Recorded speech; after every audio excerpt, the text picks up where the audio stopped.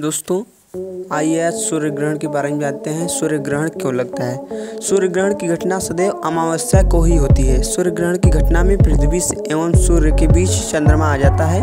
पूर्ण सूर्य ग्रहण के समय सूर्य के दिखाई देने वाले भाग को सूर्य किरीट कहते हैं। एक वर्ष में न्यूनतम दो एवं अधिकतम सात ग्रहण हो सकते हैं